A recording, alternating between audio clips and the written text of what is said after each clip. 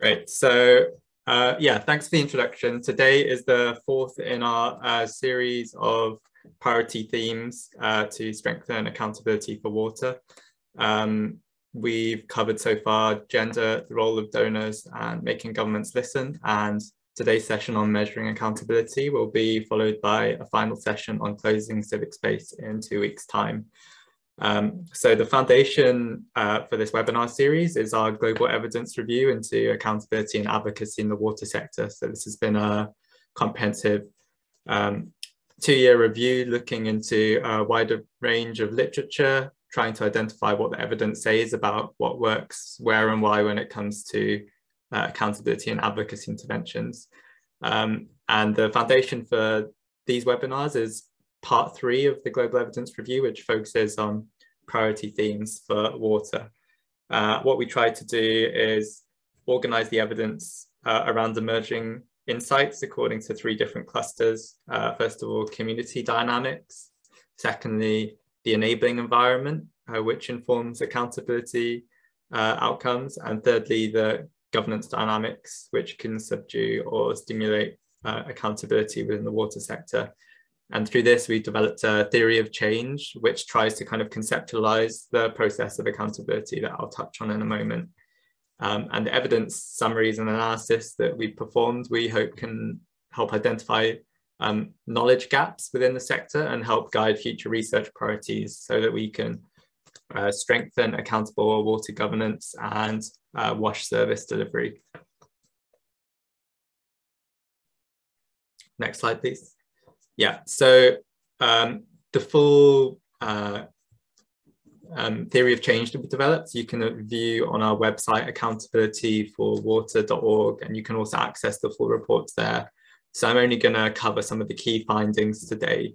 Um, and in terms of the conceptual framework we've been using, I just wanted to introduce what we've dubbed the accountability cycle to try and theorize uh, the process through which accountability occurs. Um, and as you can see, there's five stages to this. Uh, for um, accountable water governance to be realized, um, we've identified five um, elements that you need. First of all, clear rules, norms and standards which are in place and appropriate between uh, and clearly understood between rights holders and duty bearers. Secondly, uh, clear responsibilities where obligations and duties are clearly assigned and understood. Thirdly, appropriate reporting and monitoring mechanisms, which are available and widely used. Fourthly, a clear process of review and explanation for performance. And fifthly, reaction via corrective measures and sanctions, which are in place and effective. And when we're talking about uh, accountability mechanisms, these can range from social accountability mechanisms such as citizen report cards or interventions to strengthen citizen voice to budgetary accountability mechanisms such as participatory budget tracking. Uh, can you go back to the previous slide, please? Uh, yeah, budget tracking and um, monitoring that can also cover um, evidence-based advocacy, including media campaigns, um, freedom of information campaigns, uh, and it can also include statutory accountability mechanisms such as customer service charters, public interest litigation, and ombudsman services. Next slide, please. And within the report, we've got five sections according to these five priority themes we've identified um, so I'm just going to highlight some of the um, key findings from uh, the section on measuring accountability. And yeah, as I mentioned, each chapter starts with this visual dashboard to highlight where the evidence is coming from. So you can see here, um, out of our total sample of 151 papers, um, we found 48 journal articles which discussed uh, evidence relevant to how appro approaches to measuring accountability. And this was the bulk of the evidence uh, relevant to this theme, but to a lesser extent, organizational reports from um, NGOs and civil society organizations were also relevant and had some useful insights. Um, in terms of the interventions covered, uh, the majority focused on uh, mechanisms aimed to strengthen citizen voice when it came to water governance. Uh, and as you can see, research analysis was also important, perhaps reflecting um, the need for monitoring evaluation when it comes to uh, program interventions within the water sector. Uh, and dialogue, debate and dialogue processes were also featured within the evidence that we looked at as well. Uh, as you can see in the map on the right hand side, in terms of the geographical scope, the evidence was uneven. Uh, most evidence was clustered in India and in East Africa, specifically uh, Kenya, Uganda and Tanzania. Uh, we did also have um, some evidence coming from uh, North America as well.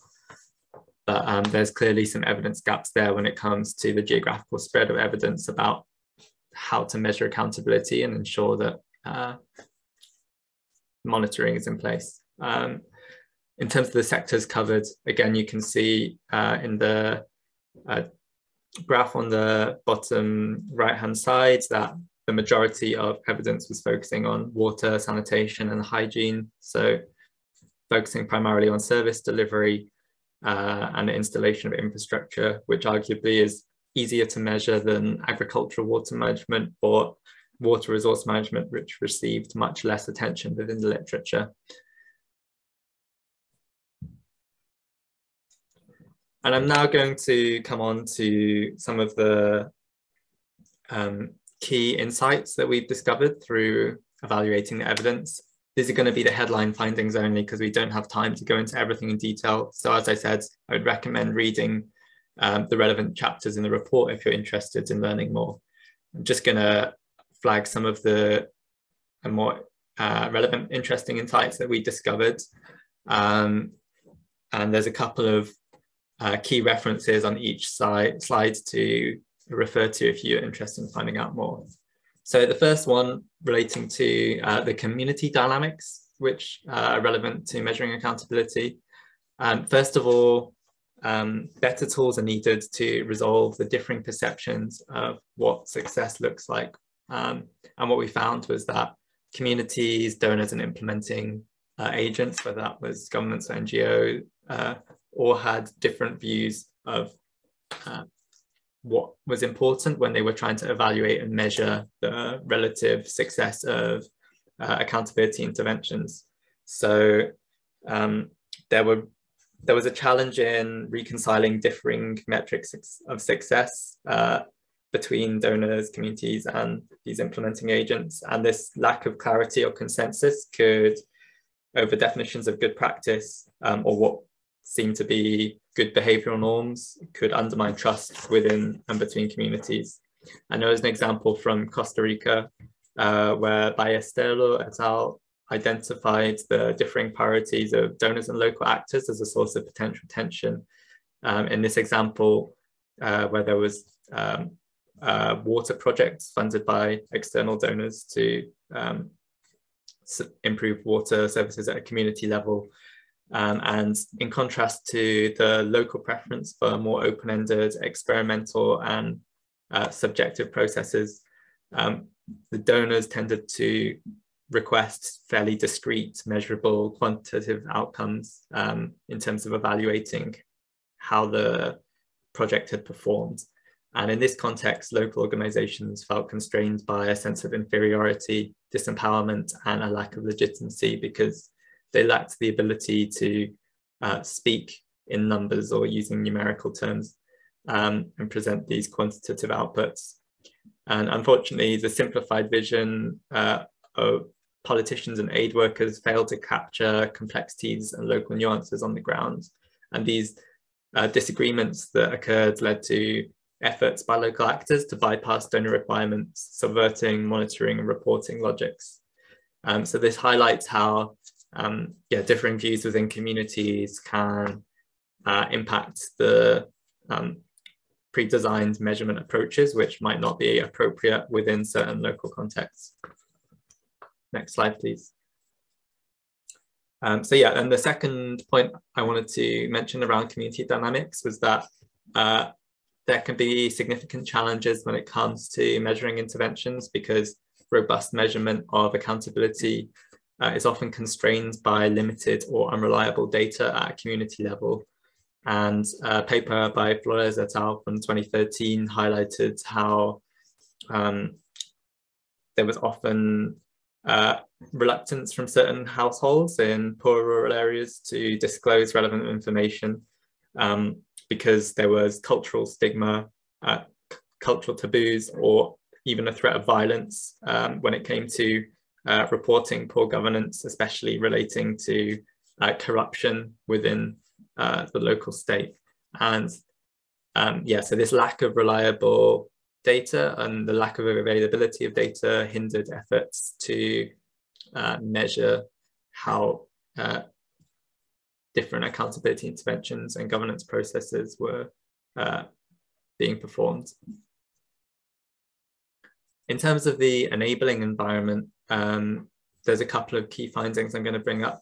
Uh, first of all, uh, paper from Fogelberg in 2013, uh, which uh, draws on field reflections from the NGO uh, Water for People. And they highlighted how there was a need for methodologies which brought together different discipline, dis disciplinary approaches. So from both social sciences, uh, as well as kind of engineering and more quantitative approaches, which could help to remedy problems around measurement um, and inconsistencies within data, bringing about better results. Uh, and they focused on the need for a realistic timescale for monitoring assessment, which often extended for a longer period than a lot of uh, local NGO assessments were doing um, prior to that intervention. Um, so uh, in this paper, they proposed expanding from a singular focus on measuring access to water and sanitation infrastructure, what they dubbed pipes and pumps, to consider WASH service, delivery and sustainability data, assessing the quality and durability of water services over longer timeframes. Next slide, please. Um, another key finding relating to the enabling environment was that the broader cultural and historical context was quite important when it came to measuring success of different interventions.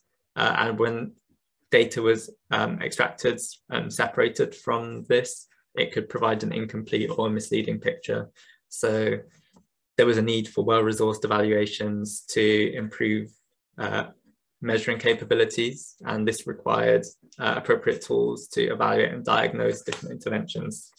Um, so again, um, going back to the Nicaraguan example, uh, what was applied here was a indicative framework to uh, measure and assess um, water outcomes relating to uh, availability, um, access, uh, equity, and water quality, which was rooted in human rights-based approaches. And this methodology aimed to strengthen accountability through alignment with international covenants and legal principles, which gave a certain coherence um, to efforts to measure uh, how different water um, projects and interventions uh, were performing. And drawing on survey data and structured interviews with rural households and water committees, the study devised a composite measure uh, which incorporated uh, yeah, the presence of um, yeah, which incorporated availability, accessibility, affordability, and quality of water services, as well as um, participation and access to information for local uh, community members as well, and also non-discrimination, looking at uh, racial justice as well. Um, and the authors here argued that water sector monitoring indicators need to be uh, both easily accessible at the local level, um, accurately defined, standardized and internationally applicable, scalable, and periodically updatable um, so that they could be revised um, in response to yeah, changing understandings and norms in terms of uh, accountability within the sector. Um, but ultimately, this combination of indicators and data sources was able to better capture the complex relationships between rights holders and duty bearers within the region. Next slide, please. Yeah.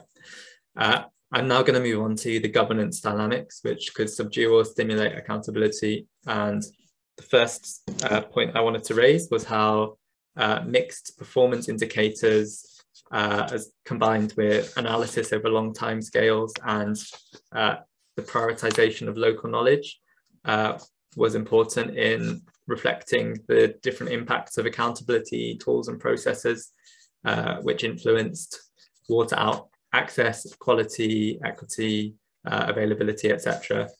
Um, and there's an example I wanted to bring up from Ethiopia, um, where Dundon and Gilletta uh, provided a uh, assessment review of the Millennium Water Alliance project. Um, and as external assessors, they deem this project, project a success. So according to a baseline survey, they found that project partners have increased access to safe water sources for over 500,000 rural Ethiopians over nine years. So as you can see, this was a much longer time frame than a lot of um, NGO projects and programs. Um, the monitoring strategy that they applied enabled project partners to identify uh, gaps in knowledge to solicit remedies and to prepare, prepare mitigation plans uh, in consultation with user community uh, representatives. And what they found was that regular audit and review processes were really important to uh, strengthening the success of accountable WASH sector programs. Uh, another important factor was the internal dynamics of different program activities. And this really highlighted the value of a collaborative approach between um, different stakeholders who were involved in projects, whether that was um, water users, local government, or uh, implementing agencies. Um, because initially what they found was that a lack of a unified approach uh, where there had been separate monitoring programs by different partners had limited the generation of reliable evidence base and obstructed data collection. Uh, however, ultimately, project partners decided on common indicators and a common monitoring framework, and where these minimum standards and indicators um, provided a much better framework for measuring accountability, allowing uh, their work to be evaluated across diverse contexts and settings. And finally, um, another key finding from the governance dynamics was the need for uh, open data sharing between governments, governments and also at different levels of government from uh, local municipal governments up to the national level. And this was important in improving measurement uh, of different program interventions. Uh, and also it was important in encouraging a commitment to joint and participatory information production. And here I'm just going to bring up an example from uh, Huntjens et al., which was a comparative multi-study, multi-country analysis of eight different watersheds across Europe, Africa, and Asia in the picture, you can actually see the Amu Darya River Basin in Central Asia, which stretches across Uzbekistan, Kazakhstan. And um, basically, what this comparative analysis found was that um, top-down command and control governance regimes tended to deliver much worse water resource management outcomes than uh, river basins where there was more uh, flexible, responsive and participatory methods applied. Uh, so regional water boards and management authorities who developed a commitment to joint or participatory information production uh, perform much better than their counterparts when dealing with floods, droughts, and other hazards. What this showed was a lack of consensual knowledge could obstruct cooperation, especially when it was trying to deal with, uh, when authorities were trying to deal with uncertainty and change. So there was a need to open up space for policy learning through much more collaborative uh, information sharing practices. Uh, and this could secure greater preparedness against these growing complexities, uh, conflicts and future uncertainties, for example, uh, uncertainties around climate change and how this might influence uh, water use in the future.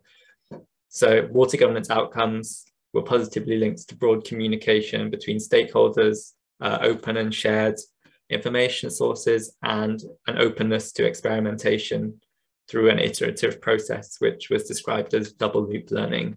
And when it comes to measurement uh, of accountability, yeah, I think this uh, iterative process of learning and reflection was really significant in this example.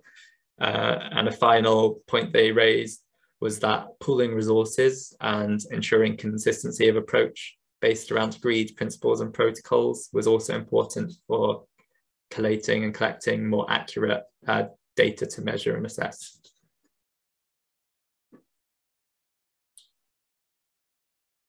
Next slide, please.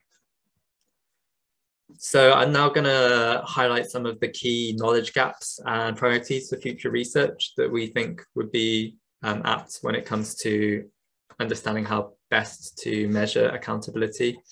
Um, and yeah, some of these themes have been discussed in the literature, but um, not necessarily in detail or not in all geographical regions. And uh, as I showed at the beginning, very much uh, overlooked was uh, agricultural water management and water resource management more broadly. So issues around uh, pollution in rivers, for example, uh, was not really discussed, even though I think there's a lot to say about measurement there. Um, but a key concern, first of all, was about organizing data and, you know, um, synthesizing it um, into a form which is useful for uh, analysts. So there was questions around how best to collate and systematize different uh, anecdotal reports or informal uh, points raised around accountability failures and how to ensure that there was a robust process for uh, analyzing this um, and collecting uh, data according to consistent protocols. Uh, in a related sense, uh, there was a need for much more robust assessment of accountability data especially thinking about how to track different accountability relationships between rights holding citizens, uh, government duty bearers, uh, and also private utilities who might also be providing uh, service provision. Um, and again, there was this need to think about what common benchmarks and indicators can be applied so that we can compare um, accountability interventions across different contexts. Um, and also thinking about assessment practices, there was a need for more participatory monitoring um, and long-term analysis.